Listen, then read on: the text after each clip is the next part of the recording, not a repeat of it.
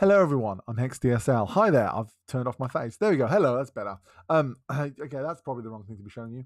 Um, do you have a game in Steam where you launch it and it's fine, but if you lose focus and if your mouse goes to a different desktop, or if you Alt Tab if you're on a type, if you're on a stacking desktop, um, basically anything you do that loses focus, it will just basically just shit itself and turn into a postage stamp in the top right corner, or just hard freeze, or do that thing where it frees up your entire desktop and you have to restart X.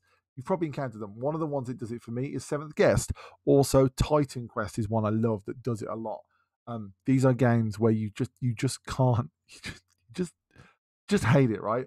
There's an easy fix for it, and I didn't know this wasn't more widely known than it is until I spoke to a friend, and she literally was like, "Why don't how do I not know this? You know, like like like that that's why why do I not know this?" Um, let me show you an example of what I'm talking about. In my case, the seventh guest is a good one because it shows you the blue background of the wine desktop, and then boop, there you go, it shows you again, and there's the game inside the one. Yeah, no, we're not back for more. There's the game that blue desktop is indicative of the background. Um, all you have to do is give the wine virtual desktop, give it a size that, that matches your resolution, and it looks like the game is full screen. The game itself can be full screen, can be windowed, can be borderless window, doesn't matter because it won't escape the confines of that window. Again, not rocket science. Like it's one of those things that like like once you do it, you're like, oh, that's yeah, that makes like obviously that that, that makes loads of sense. But actually getting it to be done is kind of a different thing. So in the case, let's use the seventh guest as my example. In the seventh guest, I launched it originally without a wine virtual desktop, and it just literally like give me a postage stamp in the middle, and if my mouse leaves it, it just boop dead gone. And if I full screen it, didn't know what to do, and it just went really big and then just crashed. So it was not a great game. But by giving it a wine virtual desktop, it behaves basically perfectly. Um, so how do we find out? How do we do this? Well, we need Protontricks. Proton Tricks is something you'll find in every repo. I'm on Debian. It's even in there. If it's in Debian repo, it's going to be in every repo. If not, there is a GitHub page, and it's not difficult to compile and store from GitHub if you want. Uh, if you're on Debian using slightly older version of Protontricks, you might want the newer version from the uh, Git repo anyway. Uh, so what we do is we go to the store page, right? And we want the number right here. So this number here, this is the app ID that Valve assigned this application or game, right? you can't see this number, you can simply use the website. Just go to the Steam website and look for the game there, right? Also, don't buy Seventh Guest Anniversary Edition. It's shit. Um, but that's that's beside the point. If you want that on in Steam, then go to settings, go to interface, and tick this box here that says display web address bar when available. That's it. Restart Steam and you'll have the address bar there. So in this case, let's do seventh guest. Let's check out the settings of seventh guest. Protontricks. Now we don't need to know where it's installed. That's the point of Protontricks. It's going to find it. Don't don't worry about that at all. One oh four four three four oh. Right, wine C uh, CFG. There you go. Enter. Now, depending, you should run the game once before you do this in with the container you intend on using, so that it can set up the container properly. If not, it'll take ages. Um, it might take a little while, might be fast. Depends on the game and stuff. And there we go. Here we go. This is what we get. Um, and we want to click this box here and then set it to the size of your desktop. In my case, it's 1920 by 1080. Now, you can set it smaller than the resolution of your monitor, and what you'll get is a wind, floating window in the middle of the screen.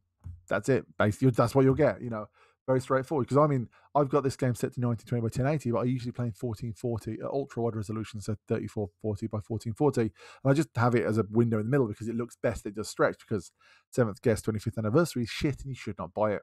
Um, but yeah, yeah, really pissing me off. Um, yeah, so yeah, emulate virtual desktop, do that. Good.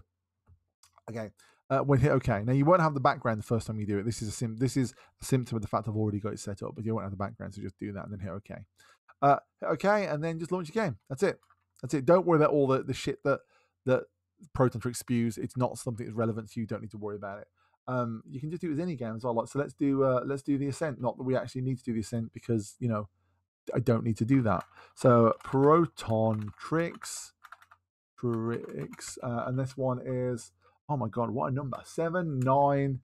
Oh no, mate, nine seven nine six nine oh wine CFG. There you go. That's it, and it'll just pop up in a second. You'll see it without the background now.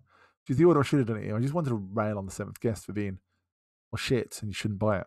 Um, might do a video actually just explaining why the seventh guest is shit and you shouldn't buy it. Maybe I should do that. I don't know. It should be self evident. It's the seventh guest. I was, it was a moment of mental, like just what was wrong with me when I decided to buy it. But you can see here, I've not actually done this before, and this one's taking a lot longer. In fact, it's possible I haven't launched the game on this container, which is why it's taking even long. It's making it's doing the MKDIR thing, which is basically you know when Steam goes loading the game, it's like dot dot dot dot dot. That that's the bit it's doing. We're just exposing that to the world.